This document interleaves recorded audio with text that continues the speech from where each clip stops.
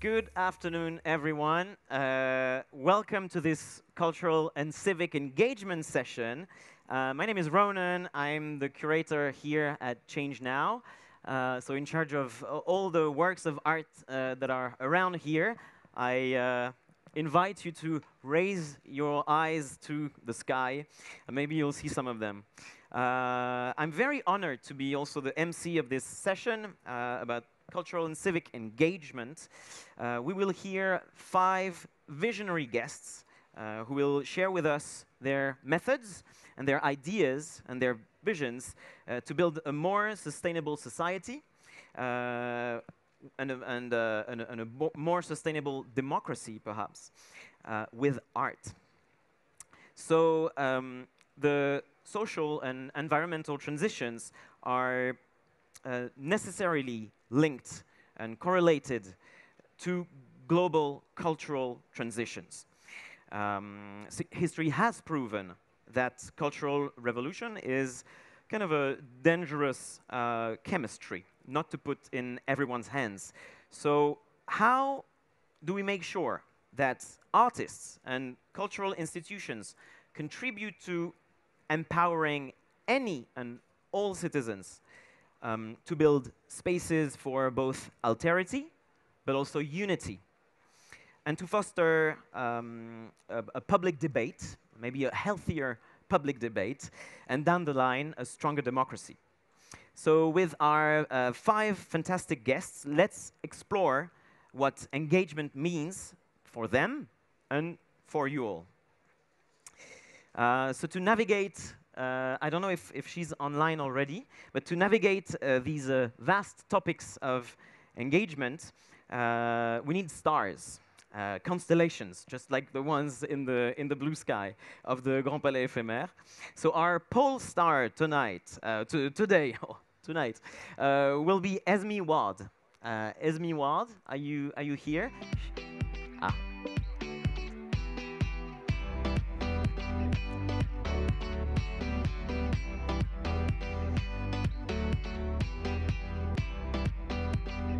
So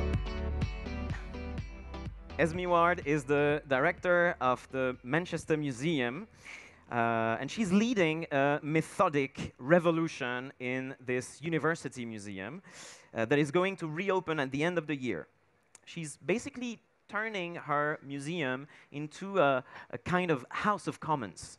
Um, Esme Ward has dedicated, oh, hi, I see you now on the screen. uh, Esme Ward has dedicated her whole career to creating value for public service, taking into account all differences, and maybe we can dig deeper in, into, uh, into those programs, uh, all differences including age, psyche, cultural backgrounds, and uh, so thank, thank you so much, Esme, for joining us from Manchester. We hope you recovered well from COVID and, and, and fully recovered now. Uh, so the floor is yours for the next uh, four or five minutes, and then we'll have a little chat. Fantastic. Thanks so much. It's wonderful to be with you. Uh, I'm so excited to be here and to share our work at the museum the UK's largest university. Sorry, in, Esme, uh, I, I don't know if you tested the the sound before. It sounds like it's, it's uh. I did test it. Yeah. yeah. You, I can hear an echo. Can hear an echo. And there's a little delay. Can, can I get a, a, signal from the technical team? I mean, it would be a pity not to hear, not uh, to hear only half of what you have to say. can we can we improve uh, the connection the somehow?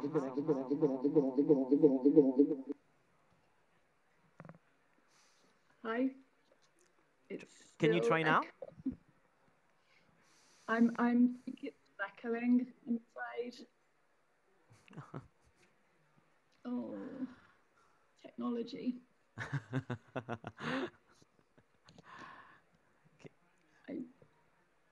Is don't quite know.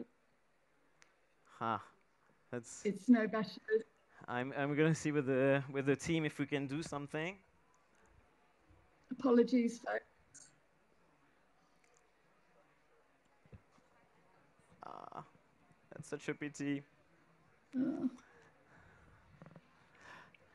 Can you close other tabs? Anyone in the in the public has a solution? oh, can you can you try putting earphones and connect it to your Uh, computer? it, This is Open Innovation Live. So it. I'm counting on you guys. Okay. I will try. Ah, on va tester. so maybe I'm going to start uh, asking you questions so we can test out if this works better. Um, I, I wanted to know more about the Hello Future uh, program that you're launching for the reopening of the museum. Uh, can you can you tell us what it what it looks like concretely uh, implemented in your museum? now, I you, can try. Is this working? to be honest, not much. No. Ah, can we can we try a phone call?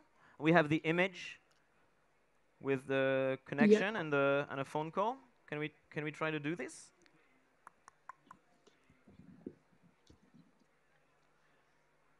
It's funny because the, the the revolution that you're that uh, you're leading at the museum is a very local one, and you you mentioned that uh, the purpose of the museum is to to to serve the locals and to serve the Mancunians uh, in in Manchester, of course. And now we're being uh, we're being stabbed by technology. okay, because uh, Esme, we're gonna we're gonna retest the connection, and I'm gonna uh, jump to the to the panel because all of my uh, uh, panelists are here. So I'm gonna invite you uh, you all, Magda, Nathalie, Chris, if you can up go up on stage, and we're gonna start the panel I do want to? as you want. Please just grab a seat. Tu veux pas là Ça me dérange pas. C'est gentil. merci. You have what you want. Ouais, c'est pas beaucoup. So, thank you for being here. uh, so I'm going to introduce you a little bit. Nathalie, you're back from Quebec, uh, where you've uh, uh, headed the the Montreal uh, Museum for 13 years, or uh, about about 13 years, um, and implemented inclusive innovations. And one of my favorites is, of course, the the museum prescribed by doctors, uh, so museum tickets uh, on a prescription. Uh, and now you, dir- you direct the museum and collections of IMA uh, in Paris, so uh, Arab World uh, Institute. That's right. Um, and it's a, it's a cornerstone, for those who don't know it, it's a cornerstone for uh, French society, ab- about diversity and, and unity of, of French society. Magda, Hello. uh, you're uh, hello. You're a super active or super activist uh, gallerist. Um, so you have galleries in Paris, London, Shanghai. You specialize, but not only in street art, and you represent artists like Futura, Vhils, JR, Robert Montgomery, Liu Bolin in China. Uh, and your artists, of course, show their work in galleries, in museums, but on the walls, outside, in the streets, also at Nathalie's. and Yes. also also as at the. IMA. Yeah. um, and uh, so indoors and outdoors, and you're currently uh, curating Urbaine uh, in north of France, uh, an exhibition about the place of women in public space. So uh, our last guest, Chris, should I welcome you here, or are, is it you welcoming me? 'Cause I, I, no, I, I think you should welcome me because every, every time I come here when there is another event, I barely recognize it, and I must say this is absolutely looking fabulous. So, uh, but I didn't know where I was because it changed again. So congratulations. Oh, yeah, yeah. So uh, thank you, and thanks to the whole ChangeNOW team. It's a, a few hundred people uh, working on this. Uh, so Chris, you are the boss. You are the head of the RMN uh, GP. So I will Have try to The define. RMN, what is that? It's Uh, called the, uh, f- the association, the French Association of National Museums. Okay. And uh, it's, a, it's, a, it's a very peculiar organization because Yes. it goes back all the way, even to the beginning, to the end of the 19th century. And uh, for instance, one of the, the things we have been running since then is the museum shop of the Chateau de Versailles. So we do all these kind of things, uh, which, which are really very, very important for museums today. for museums, for national collections, and we're going to talk about the, the purpose of, a, of an institution and maybe uh, talk, uh, talk about that. But I wanted to ask you a, a, a quick one first to, to, to introduce, because you are all three uh, amazing curators. Um, what is, according to you, the superpower of an exhibition? Oh. Superpower of an Well, exhibition, I mean. I I think first of all, it's sharing, um, and I think we have to cut back with the myth of the at least contemporary artists. Sorry, there's not only contemporary art, but in my field, that the artists are um, artistes maudits, as we say in French. They work alone in a studio, cut an ear, and then become famous once they're dead. Uh, no, uh, what they do is to raise a voice, and that's exactly what we're here for. Um, and an exhibition and being curators are is mainly about putting a story together, their stories, and giving it to the world. I think that that's already a big power they're they're giving us. I feel very blessed that they're giving us this chance. So you're powerful by proxy. yeah, exactly. Nathalie, you wanted? Yeah, for me, I would say that uh, a good exhibition, on my point of view, is an exhibition which is relevant. So uh, all kind of uh, subject can be ch- uh, chosen, but this subject uh, should be relevant with uh, our days. Even if we have an old masters exhibition, of course, donc, we know that with a decolonial perspective, donc, we can reinvent a new vision about our old history. So uh, it's all about uh, cancel uh, context culture instead of uh, cancel culture. Uh-huh. Context culture. We're, do you want to develop about uh, context culture? Because you, you obviously you, you made the travel from North uh, America, and now you're heading this kind of pivotal museum that is the Institut du Monde Arabe. What did you learn from those transfers? Well, I'm always learning, obviously. Uh, it's true that now, donc, with our global perspective, uh, we have to understand each other, and uh, one of the main uh, issue is the language, the vocabulary. Uh, sometimes we want to use the same concept uh, or a different, um, the same word, but it does not mean exactly the same thing in an Arabic word, or in Spanish, or in French, or in English, obviously.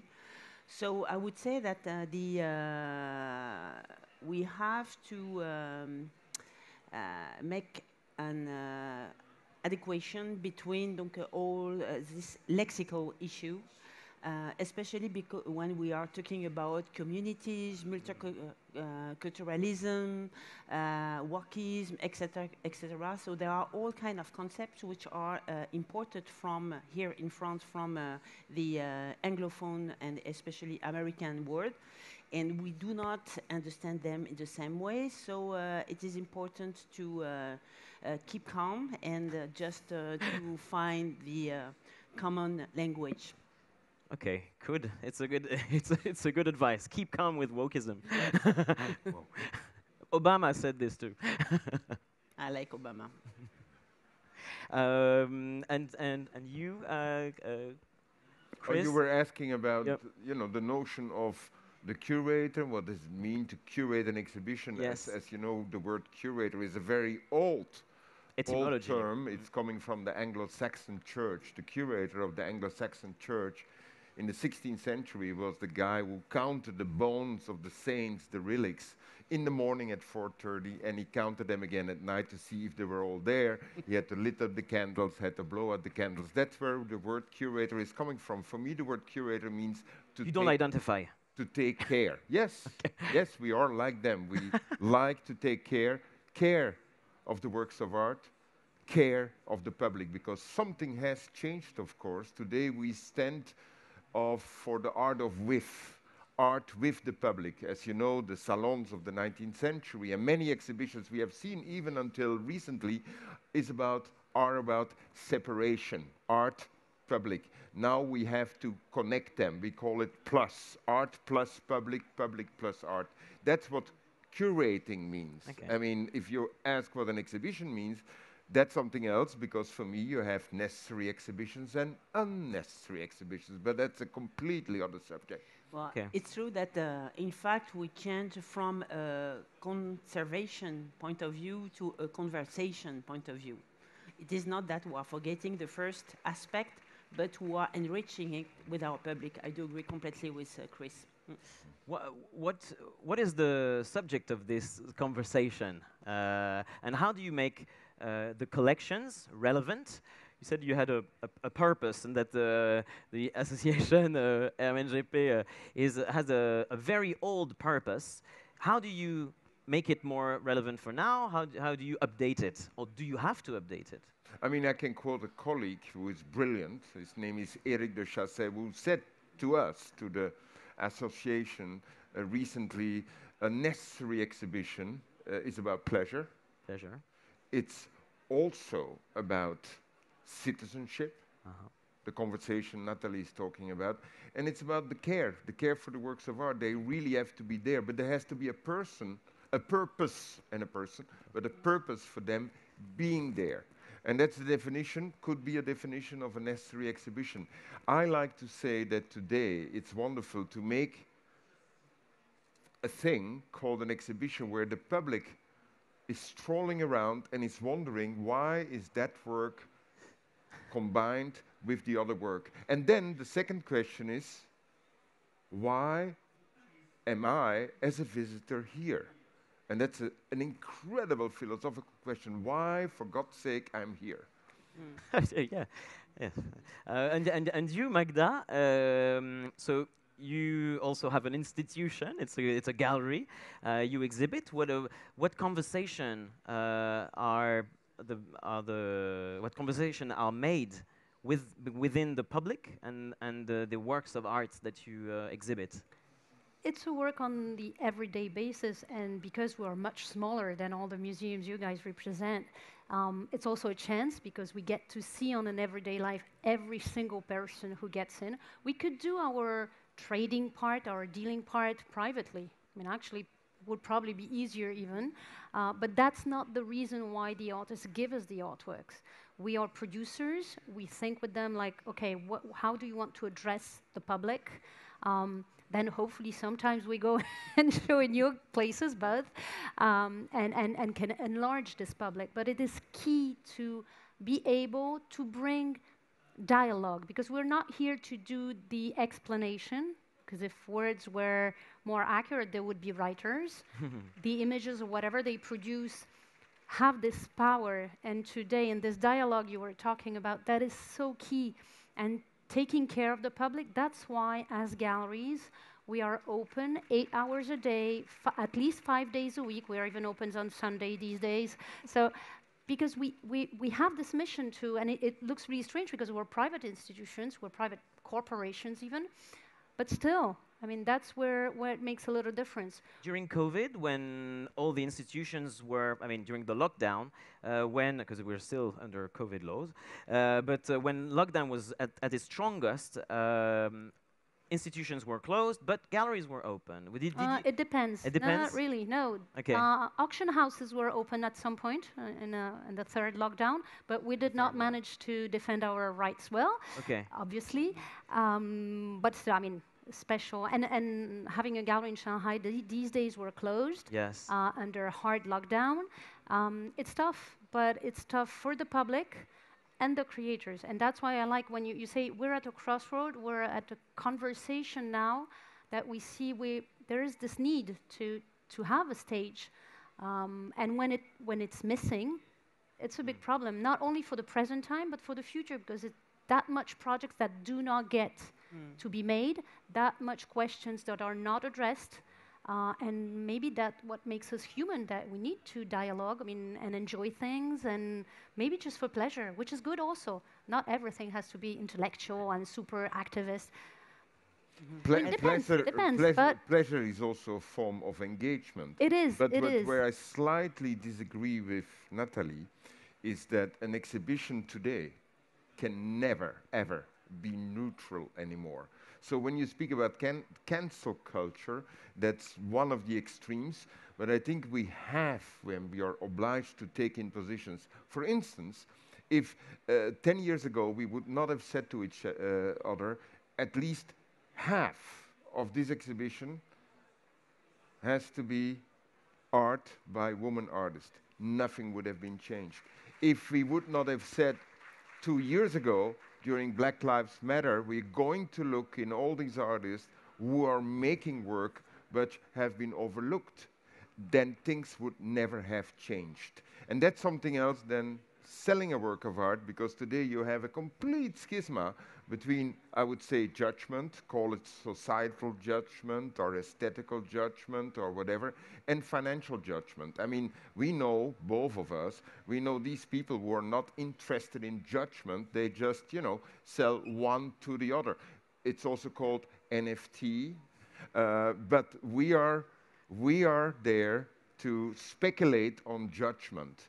And judgment is one of the most beautiful things in the world when you can say, this is necessary, this is not necessary, this is better than that.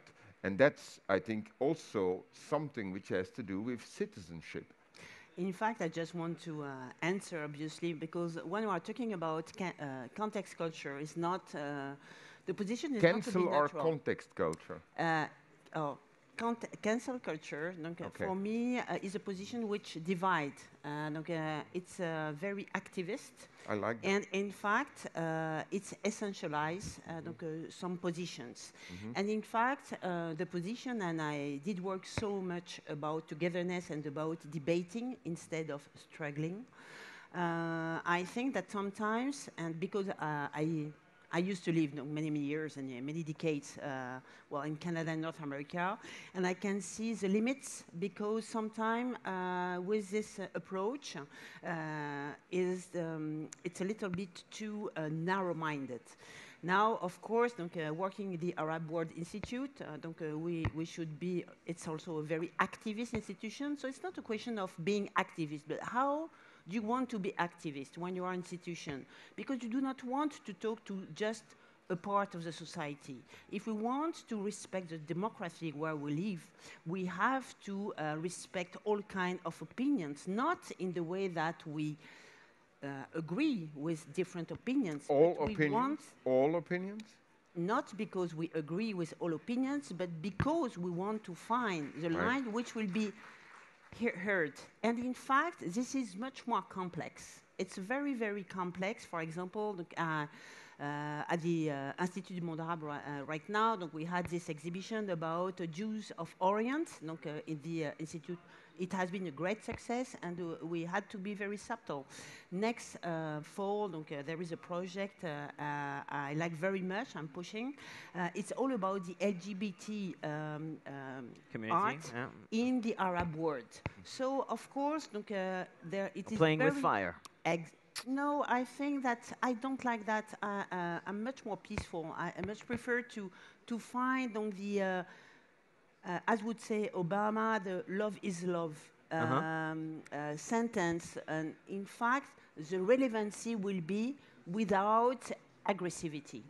Uh, and I think that uh, it's uh, it is a, the good way. But this is my personality and my character, and of, and I respect so much uh, associations because their role is to be activist, and our role as institution is also to be activist, but also with a more inclusive I, way. ha- I have, I have a, a question for, for you, Magda, because we talk about activism, maybe about active citizenship. You're not, you don't have to be an activist. You can only be just active as opposed to passive. Um, but Magda, uh, uh, Chris said that uh, all exhibitions needed now to be or were by default engaged. Your exhibition Urbaine in Roubaix um, about the, the place of women in, in public space, you decided that you should not only invite uh, women artists. Why? No, and it was a request from the institution at first. And I was like, what? Why? No. And it's not talking only about the place of women, because there's not one form of engagement. And the artists were even relieved when I asked them. They were like, hopefully, we're not going to talk only about street art, which, as insiders to the movement, we hate the word. I'm very glad because I use the word contextual art. That's probably why they are engaged, because they work in the context. They're in the street, so they hear what is here, what is there, and they respond in a way to the context. And also, they were telling me, the artists, like, it's not just the subject is not the place of woman, is woman plus religion, or woman teaching craftsmen, for instance, for an Indonesian artist we invited, or woman and migration for uh, two uh, two Irony brothers who fled their country. It's also leaving your mother, who's telling you, if you want to be artists, you have to go away. I mean, women are at the center of many, many, many other engagements. You and you also invited Kubra Khademi, who was Yeah. on the previous panel. Yeah. yeah, who is going to add a little work to, to the show. It's an ongoing dialogue. And I think we have, uh, as cultural actors, to open wide, answer to the context. But I agree uh, with you, Chris, that we cannot remain passive anymore. It's not. It, it's impossible. I mean, and, and we've seen the change. We had, and even in, in this little field that is street art, we had like getting up, as we say in the 80s, putting your name in big colors, blah, blah, blah. Okay, fine. Now it's something else. Now it's really context I think that in fact we're never passive because uh, well, we should be uh, a little bit uh, modest donc, in comparison with uh, our former generations. When we talk about the cultural wars, for example, in the uh, United States during the 70s, uh, so it was uh, very uh, um, rather violent. So uh, donc, uh, we, we have to uh, uh, think about this period, uh, which was very important. So there, there were always uh, some activism, but the reason why donc, we are struggling and fighting and just doing our job, by the way, is different. I think before, when we are talking about conversation instead of conversation, in fact, donc, as Chris said, donc, the curators were gatekeepers. Donc, they were donc, uh, uh, um, keeping the treasuries in fine arts temples. But now donc, we open the conversation to other voices, and those voices represent our society. Uh, I think that there are a little bit, a lot of fear donc, among uh, the curatorial world because they have the impression that they are uh, losing their power because voice is the power. But when we open uh, the conversation to uh, different voices, uh, other kind of professionals, I'm not talking about us because, well, we are cultural professionals and we are always on stage, by the way. This is a proof. Uh, so that would, what would be interesting is to invite different people within our cultural institutions and who could have the voice, like uh, doctors, like uh, uh, all kind of scientists, etc., etc. So it will help to enrich the, the uh, interpretation, uh, the display of uh, our collection of the artists. I think that having much more interdisciplinary, interprofessional crossroads, in within our team, within our uh, programming, is super important because it's exactly the way how people. Uh, I would want add, to Yeah. we have to work. You're, you're anticipating my, my question, uh, my last question, because we only have three minutes, four minutes left. But um, you talked about your role as a leader uh, of an institution. You are three leaders. Um, what what do you think, and what do you recommend to the crowd who work? Uh, most of, uh, I think, most of you guys uh, work in the cultural sector. Uh, what concrete actions, as an individual leader, can you undertake to build this conversation? You have to first begin with asking the right questions. Okay. That's number one. Number two is, I think you have to have the courage to explore fields which you don't know yet. I mean, the whole idea of the so-called academic specialist is somebody who knows his domain. I'm interested in transgressing your own domain. And then third, there are issues. And one of these issues is, for instance, asking the question, I'm doing this exhibition, I want to do this exhibition, but do I take care of, for instance, all these conditions which we now try to listen to, like ecological conditions? Mm-hmm. Do we need all these new walls? Do we need to bring artworks from faraway uh, countries? Do we need big exhibitions? I mean, these three things, but you know what? These things change, of course. Mm -hmm. If mm-hmm. you would ask me the same question 10 years ago. I would have given a different Yeah, but they don't, they don't change just by snapping your fingers. They change because people like you make it change. So transgress, invite, and go over the borders. And what would I be would your advice? I would add, I totally agree with both of your uh, propositions, um, but I would also add collectiveness. I think it's key today, which, which goes also with inviting people from other worlds and working together rather than my show, my artist, blah, blah, blah, which actually are nobodies, by the way, uh, is better or la- it's, it's not, it's collective work these days. Um, and we see it in different fields, especially here today in this ChangeNOW uh, summit collectiveness makes us stronger, makes it work. Uh, we'll do some mistakes, we'll go and explore things that do not work, and that's not bad, but we'll learn from the others. That's also asking the question what is a specialist today? I mean, we are talking about user communities, and things are going to change for the Web 3.0. We are going to talk about user communities, and these user communities are going to affect mm. more than ever our work. And that's whether you like it or not. When yeah. you, whether you like it or but not. But it's good. Also, yeah, it's good, of course. In so that's the reason why I'm speaking about the art of whiff. Oh yeah, uh, the plus, the multiply. Plus. You exactly. mentioned. Uh, I think that uh, our because we are uh, not just uh, global or local, but global right now in our 21st century.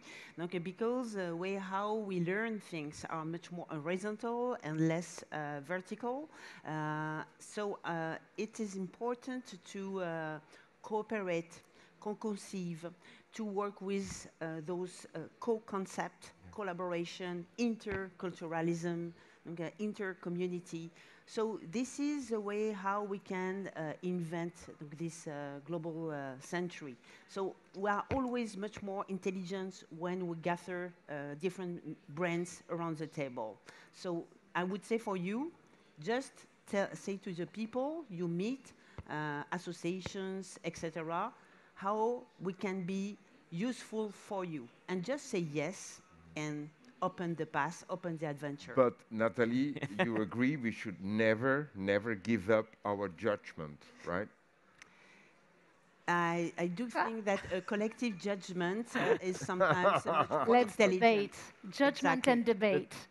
it's going to be the end as everything is respectful and collective. Yes. Good. Thank you so much. Thank you. Thank you, you three. Thank you. Uh, thank you. Thank you. And it was a very good introduction. If if we have Esme Ward, did we manage to uh, to get back the connection?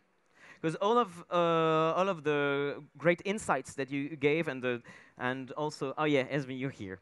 I hope the connection is better. Um, all the all that you said thank better. you so much. Can you can you all give a round of applause for our, our three panelists? Thank you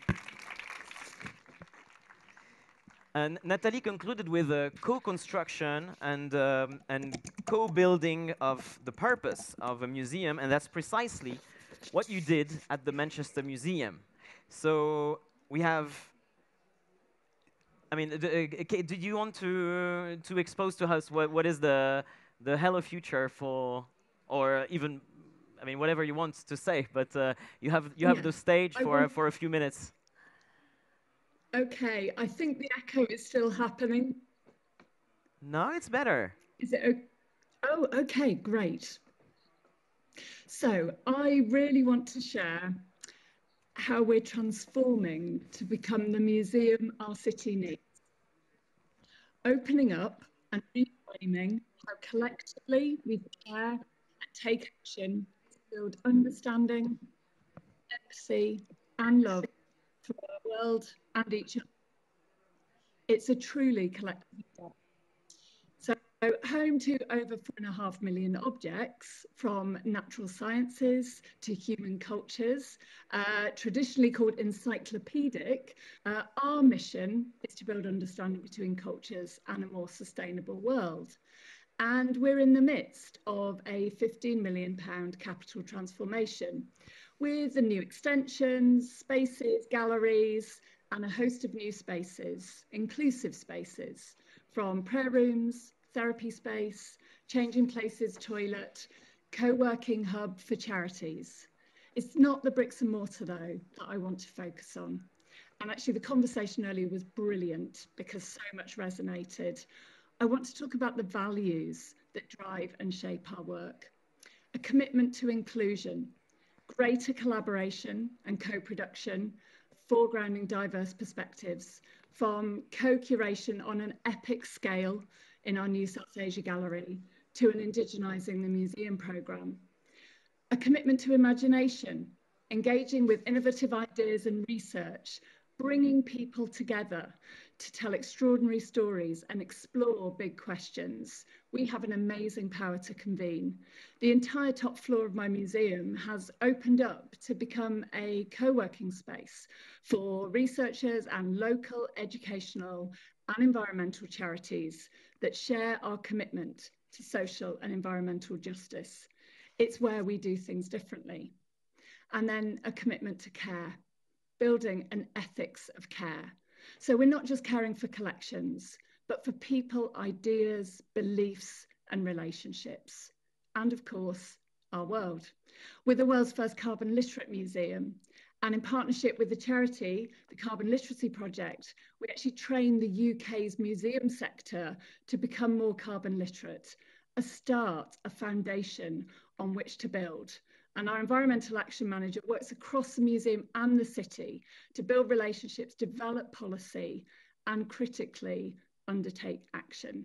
We have a new air quality monitoring station just being installed on our new roof, and we work with schools across the city on air quality issues uh, outside of their, of their schools. So we're really interested in becoming the museum the city needs. But can we really do that? Do we really know our city well enough? It's why we've embarked on a pilot programme, Local Matters, where staff are trained as social justice researchers, focused on addressing how poverty and disadvantage are understood and responded to within the museum and through its relationships and activities. Within two miles of my museum, over 11,000 children are living in poverty we have to consider, I believe, what that means for us if we really want to reflect the communities we serve. So when we reopen in February 2023, we will, of course, showcase the best of our historic collections, as well as addressing the urgencies of the present day. But more than anything, I think, we hope we'll be closer than ever, for, ever before to being a place where everyone belongs.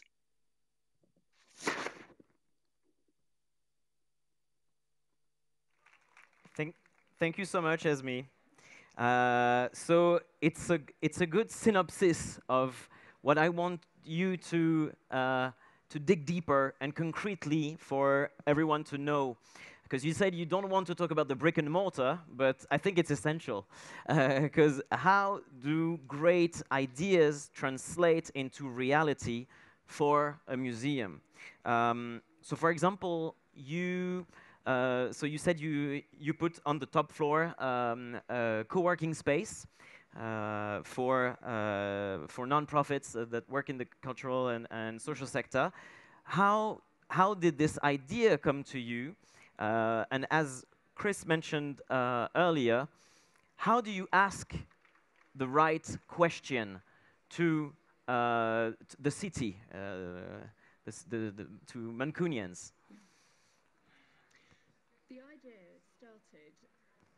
We, we really wanted to think about a wider process of opening up the museum. And I had been um, several years ago, I did a fellowship where I grappled with what museums are really for. And I looked at various projects all, all over the world. And two things, uh, two places really inspired me the uh, European Centre for Solidarity in Gdansk, and I was interested in their work with NGOs and how they opened up to be a space for them. But actually, mostly a tech, um, uh, a tech organization in Bangalore in India, where they had turned an entire floor into a space for environmental charities who really used the expertise and everything that that tech um, uh, organization had for their own ends. And I could see the way they were building this ecology. So I started talking. So my museum has done a lot of work. It's very connected to its city but we started to talk to lots of partners that we felt were fellow travelers who were interested in really um, using the museum more. And we realized we wanted to actually do more than just be a space they came to. We wanted to really have them based with us. They shared our values, they shared our mission. So it started with an extraordinary um, college called Project Inc who are work with neurodiverse young people, 16 to 25 year olds, and we trialed it. They be, we became a bit of an HQ for them, um, and we have just opened and opened up. We have a therapy space there now, partly because sadly, we believe the future of education means we have to take young people's mental health seriously. So we have been, um, I think it's an iterative process. We're growing and growing. And in terms of the way we opened up to the environmental sector, we just went to talk to people and said, what do you need? What do you want from us? What could we do for you? And all of them said, We want to be at the heart of your museum. We want to shape the stories you tell. We want to use your collections. We want to draw on your convening power. Um, and the best way it seems to do that to me is just open up, just have them based with you. We get to know each other. They're part of our work. They're curating with us. We're developing ideas together. We're raising funds together. We're redistributing our money. So it, it's, it is about the bricks and mortar in that we are that space, but it's about the how we're working together because we have a shared vision for what Manchester needs to be for the future. And the only way that we're going to navigate this world is to do it together, collectively. Hmm.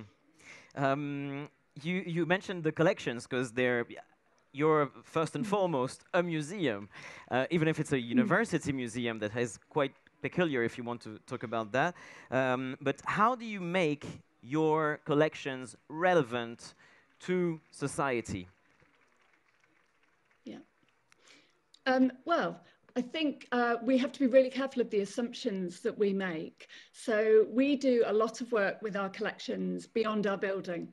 So we have done everything from um, taking a huge elephant skeleton into the middle of uh, our Piccadilly train station because this the story of this elephant is it once walked from Edinburgh to Manchester because it refused to take the train. Um, but we did that to have something that stopped commuters in their tracks.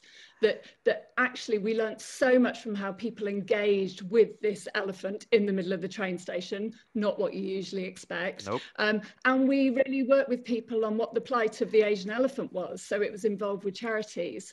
Um, we actually have collections all over the city. We have small Egyptian shabtis throughout schools all over Manchester.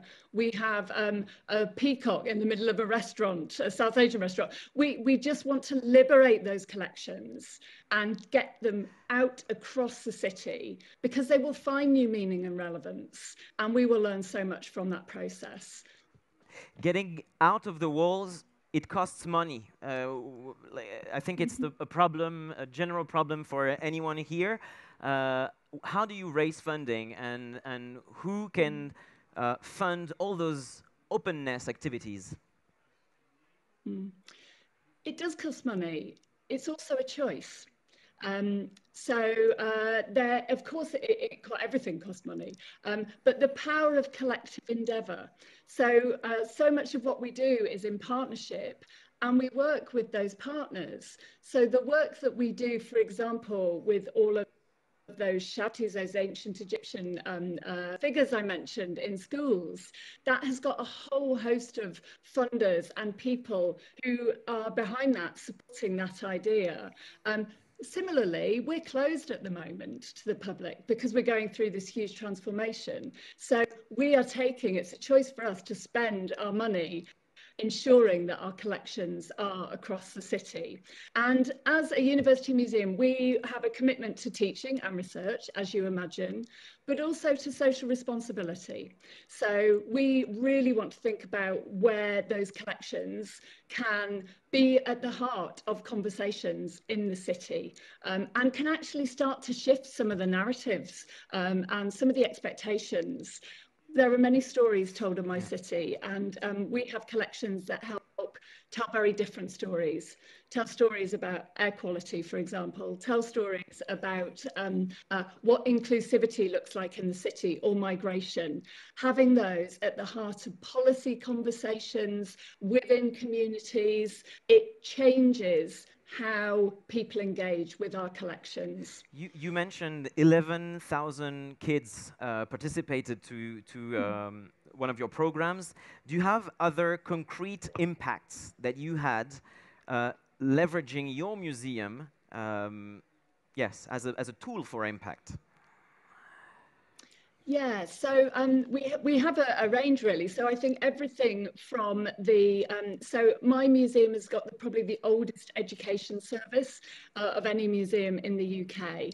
Uh, and previously we would have 35,000 children coming through our museum every every year. Um, our work off site is growing and growing. So we now are at a point where we have um, we have uh, currently uh, 17 Shabtis within schools, which uh, equates to, I haven't got the exact figures with me, but I, each of those schools, it is engaged with every single one of those pupils and their families. We're in the, we're in the many, many thousands.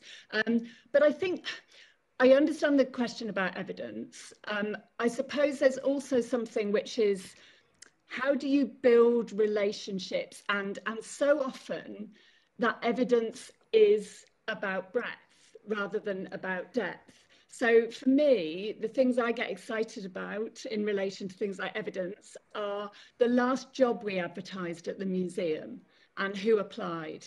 And more people locally than ever applied for that job, a 60% increase in our local neighbourhood in people applying for that role. That for me is, uh, is a really good sign that we are shifting and we are being more inclusive. Yes, definitely. I mean, I didn't ask for a, numeric impact, uh, a qualitative impact. Yeah, yeah. I mean, you've yeah. you've you've been um, you've been at the at, at, the head of this museum for uh, years, and maybe you you've seen and you've, you've inspired uh, uh, other museums to, to do so. So that is part of, of the impact. But uh, my question is more, do you measure and how, how do you measure and what is your advice to the room as so uh, measuring your impact, qualitative or quantitative? Yeah. Yeah, it's it's a great question, and as you can see from my answer, I I yeah we're grappling with this at the moment. So when I um, I've been in this role for four years, when I was um, when I was interviewed, I, I, was asked that question of you know when you leave and you you've done your work, how will you know what difference you've made? And uh, I know that everybody else who was interviewed, uh, I was the only non-museum director, gave great examples of the impact, um, everything from, you know, the number of visitors and financial, you name it. And I remember very distinctly just saying that the museum would be more widely and deeply loved. Um, and so how do we get a sense of it being more yes. widely and deeply loved? And I think that's through the sense of connectedness across the city. It's through our role in the ecology. It's through how the colleagues we work with, the partners we work with, feel supported. It's through the use of those collections. It's through the way that we collectively, as a city, really start to understand the difference that we can make together and whether we really are building that understanding between cultures. The fact that we've got 31 people now all of South Asian heritage co-curating our gallery and that every our, our, visitors have shifted so massively i think those are the things for me that will really mean we make that difference and in a way um, i think when we reopen our visitors will give us that sense of whether we've really started to make this difference uh, thank you so much, Esme. Uh, I'm, I'm really sorry for the technical issues, and I'm sorry to, to you all Me in the too. room. uh, and uh, yes, I mean, let's, uh, let's meet in Manchester in February. It's, it's reopening, right? 2023, and um, we'd love to see you there. Thank you so much, Esme, for your inspiring talk. Can you give Esme a round of applause, please? Thank you so much. And uh, without further ado, uh, I would like to welcome on stage uh, Caitlin Southwick.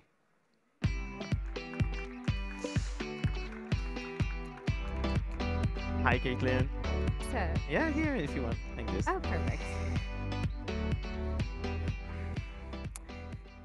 Thank you so much, Caitlin, to uh, be here. You're you're constantly moving, right? Uh, in, in, conferences all around the world. yes. So thank you, uh, thank you for uh, for being present uh, for ChangeNOW. Thank you. Um, I think it's it's a it's a good thing that you're concluding this panel because um, so you're the founder of Ki Culture. Yes.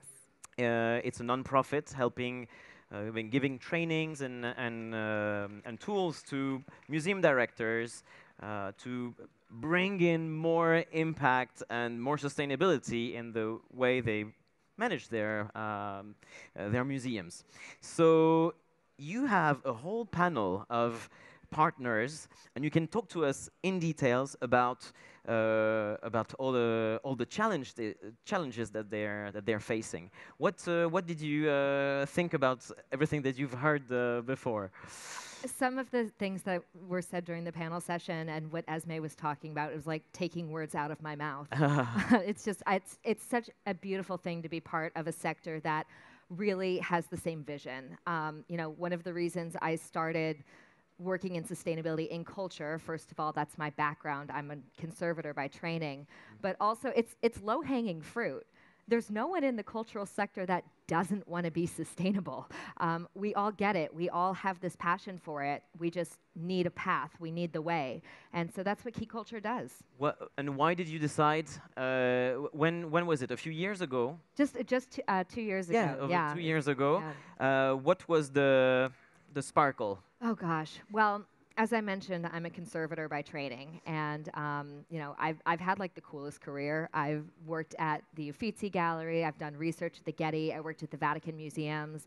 I was part of the first team of co of conservators to go down to Rapa Nui and work on the Moai statues. Awesome. And yeah, I mean, I had the best job, but I love this beautiful planet that we live on. And, you know, standing on the beaches of Rapa Nui, pouring toxic chemicals over the Moai and watching it run into the ground and out Great. to the ocean just turned my stomach. And I wanted to find a way that I could be more responsible in my own day to day work. And I couldn't find anything. And there was just this need for someone to take a leadership position in helping to transform the sector into a more sustainable one in a holistic and global way. Good. And, and you're doing it through different tools, so trainings, books. That we're going to talk about a specific book uh, right after. Um, and how did you pick the subject uh, that you're going to of your trainings, for example? Was it regarding the, the needs of your partners and, and clients? Yeah. How, how did you do this? Well, so the program that we run is called Ki Futures, and it's a little bit difficult to describe. And I feel that I, I always have to spend like 20 minutes talking to people, explaining what it is, because it's nothing that's ever been done before. And one of the problems that we saw in the cultural sector is that the way sustainability was being approached was in this kind of consultancy model. So, you know, a museum would hire a consultant or a firm, or they would bring on an in house director. But, you know, that within of itself is not sustainable because you're just working with the museum director, the facilities manager, maybe the COO and you make some changes, and that's wonderful, but then you leave. And then what about the conservator in the basement? How does my job change? What about the curator and what they're working on? And so we really wanted to find a way that we could foster cultures of sustainability within organizations to empower people who wanted to be sustainable to have the right education, the right tools, and the right support systems to do that. And then on top of that, of course, the most important part is to have this you know, international holistic approach because sustainability is not just for one person or one museum. And we've heard some phenomenal examples, but we need to pop I, those bubbles. I, I want to hear those phenomenal examples. no, because it's inspiring for, for the crowd. So yeah, yeah. Well, I mean, you know, eh, for me, like the best part about the Ki Futures program is that it is international. And I, you know, we were in a session and we were talking about um, climate control, which is a huge thing, of course, in museums. Um, and we had a conservator in Nigeria, and a curator in Moscow, and a freelance professional in Berlin, and a sustainability lead in Hawaii. And they were on a call talking about their issues and how they were approaching it. And that exchange, I mean, that just like that was everything for me. It was so powerful to see people really coming together and realizing that we all have the same questions and asking those right questions, as Chris said. And so were there uh, for climate control was there any solutions uh, go, go coming out of this uh, well, discussions or? yeah i mean they're the are they all different are there that's the, the problem. yeah. The solutions are there. The problem is is that we're not implementing them. And we have this thing in the cultural sector especially in the museum side. And i, I say culture in a very broad sense mm-hmm. of the mm-hmm. word. We work with obviously conservators and museums, but also artists and galleries and performing arts centers and insurance companies and vendors and suppliers. You know, the whole the whole every stakeholder's involved. Yep. And one of the problems we have is that you know we tend to be quite traditional. we tend to be a little bit slower moving. Um, we were originally exempt from all of the conversations about benchmarking and carbon reporting, so we don't really know what our footprint is. Okay. And then, so we have this kind of situation where no one really wants to take that first leap. And then when people do, they don't talk about it. And it's actually really interesting because we all know what greenwashing is, but there's this other term, green hushing. And for those of you who are not familiar with green hushing, it's basically not talking about your sustainability initiatives because you're afraid of negative backlash. Mm. And I was on the phone with um, a director of a museum, it will remain nameless, They've done phenomenal work. They, over the past five years, have decreased their carbon footprint by 70%. So, yeah. And I, I, when I was hearing about what they were doing, I said, this is phenomenal. I want to write about it. Can I, you know, uh, use you as a case study? Can I bring you on to do some trainings? No, no, no, no, no, shy no. About we it. just, we just, well, not shy. The problem is, is that they accept funds from a fossil fuel company. And so, of course, anytime that they say, oh, we're doing sustainability, they get all of this negative backlash. But, you know, the, the way that we can address this is by just being transparent about it. The reason that museums have to accept money, well, in this case, have to, well, accept, do accept money from places like fossil fuel companies is that we are an economically unsustainable sector. And not many museums have the opportunity to be able to spend, you know, 15 million pounds on a project, which amazing, amazing. Yeah, yeah it's, a, it's, a huge Sorry. budget. Yeah, but it's part of the of a university. That's why. Exactly, eh, but most museums don't have that budget. Most cultural institutions don't have that budget. And actually, you know, this is why it's so important that we're working collectively because we can learn so much from museums that have to do with less resources, like the National Museum of Lagos in Nigeria, which doesn't have climate control and they're still managing their collections just fine. Okay. Wow. I that, could go that on. that, must be a, that must be a challenge, though. Um, uh, among all the uh, all the challenges that uh, your uh, partners are facing, is um, citizen engagement one of those? And uh, and how do you tackle it? Yeah, well, I mean, you know, we heard from from the panelists and also from Esme about some of the phenomenal opportunities that the cultural sector has. And this is why I'm so thrilled that you guys have invited us to be part of the conversation here because it's often overlooked. I mean, you know, you can you can put facts and figures at people all day long. You can put science in front of people all day long. But what culture can do is create that emotional, personal connection that can drive real change, that can drive that societal paradigm shift that we need. And so it's so exciting to see, you know, art being represented here and museums because this is exactly what we have the power to do is to educate and engage our audiences about sustainability and issues that are local, issues that are global, and why they should care the trick here is that we also need to be practicing what we're preaching. Yes. So we need to be sustainable as a sector in order to be effective advocates for sustainability. That's for sure. Uh, and and you specifically on on on this subject, you published a book because what you're doing, you, are doing you're doing uh, training, uh, uh, trainings, but also you're publishing books. It's open sourced. It's yes. like it's free. It's online for any museum to uh, to download and and uh, and read. And, and one specifically uh, of these four books uh, is about uh, social sustainability. Yes. What do you mean by that? And give us a, a, little hint of what's inside. That's a good question. So, um, you know, social sustainability has a lot of different terms. It's obviously one of the pillars, the three pillars of sustainability. And, you know, you can call it intersectional activism, you can call it um, decolonization, you can call it inclusivity, uh, accessibility, diversity, equity, all of these things, equality, equity. Um, so there's a lot of different aspects to it, but this is really this is fundamental. This is core to what culture does. You know, we are here, as Esme said, to serve our communities. We're here to help support what the needs are of our audiences. And you know, once again, social sustainability is not just about the messages that we're sending out, but about our own practices. Yeah. If you look at the conservation sector in the world, 80% women, probably 70% of that is white. It's really not a very accessible or inclusive sector.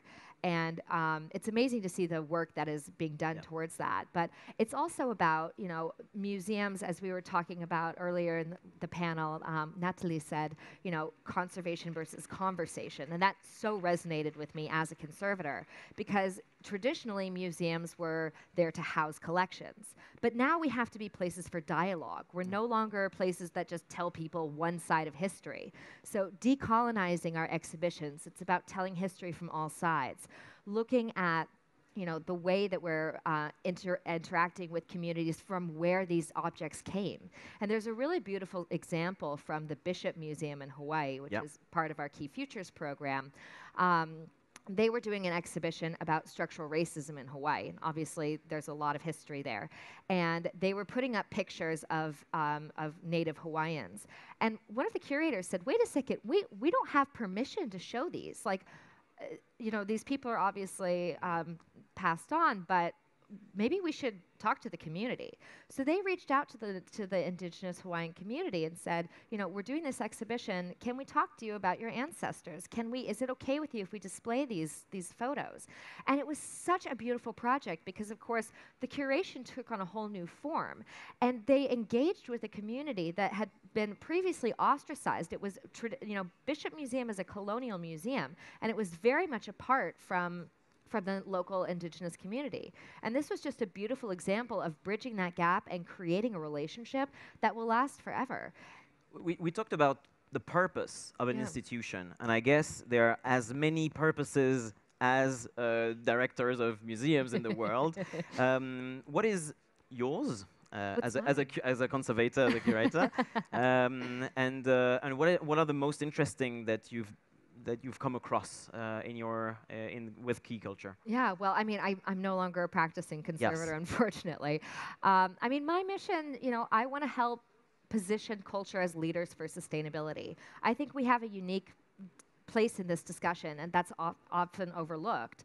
And I think that, um, you know, help make the cultural sector more sustainable. I mean, for me, when I was a conservator and I wanted to be more sustainable, I felt completely alone. Mm. I mean, this was quite a few years ago, but, you know, I was the only person who was asking these questions. I was, you know, I had nicknames. People would tease me. I was glove girl. I was sustainability buddy. I had like, I mean, it was ridiculous. But I felt that I didn't have the power, I didn't have the resources, I didn't have the knowledge. It wasn't part of my education. I couldn't find anything. Um, and I wanted to make sure that I was the last person who had to feel like that.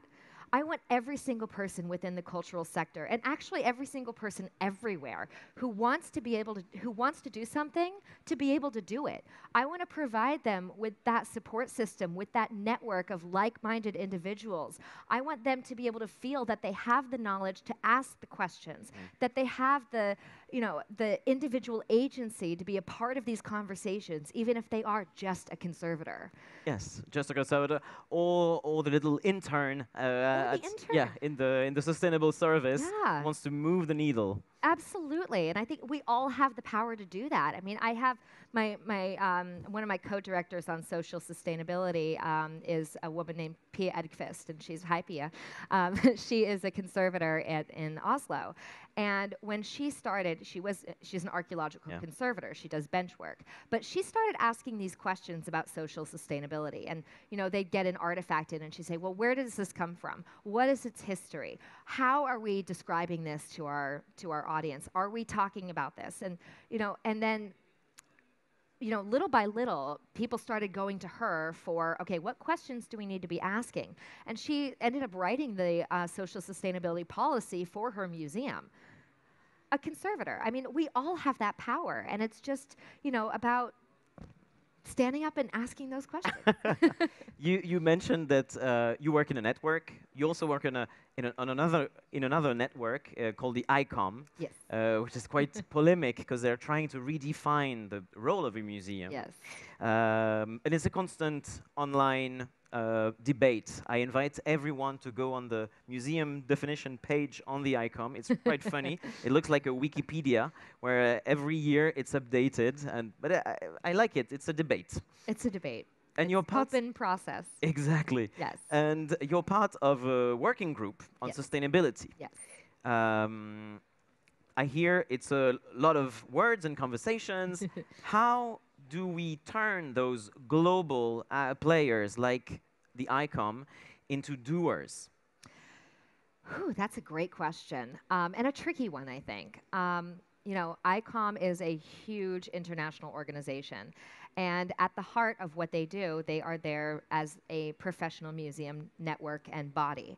And of course, the big thing is this museum definition, which I'm very pleased to say all of the definitions that are up for debate have sustainability as a component. Thank you to um, my colleagues um, at the working group and at the museum definition. But you know, it's it's really I think what it's really about is trying to fig- is is integrating sustainability into every conversation and into every job. And this is really the foundation of what I see. You know, I always compare sustain- sustainability as a lens. It's Yeah. a way to see the world. It's a new mindset. And when you're looking, like for example, at ICOM, well, sustainability is a working group. No, no, no, no. Sustainability needs to be integrated into every single aspect of the entire organization, similarly to how it needs to be integrated into every single person's job within a museum. I think this is one of the biggest hurdles we have right now in the cultural sector is that people feel like they don't have time for it. I'm like, really? You don't have time to survive? Okay. Sorry. But no, it's it's you know, uh, we are overworked, we're underpaid, we've got so much going on. Sustainability is so overwhelming. Where do we get started? I've got, you know, this exhibition deadline, I've got this and that the Ki Futures program, you know, it's one hour a week.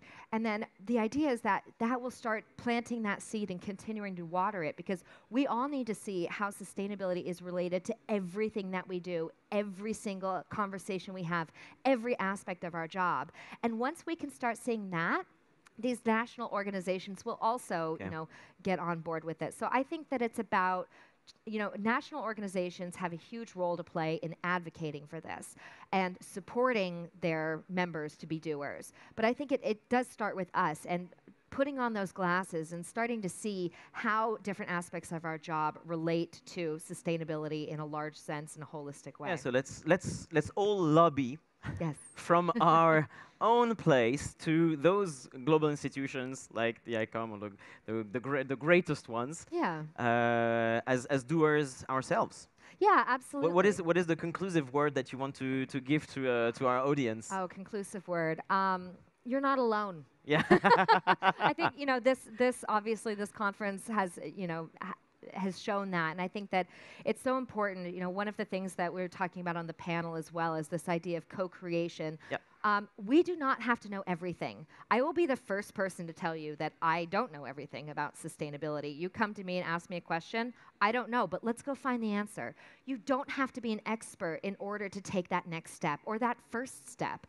It's about asking the questions, it's about finding support systems and partners, it's about being part of that conversation. and collaborative, as Magda said. Collaboration, co-creation, yes, I, I couldn't have said it better myself. Thank you so much, Caitlin. Absolutely my pleasure. Thank, you. Thank you. you.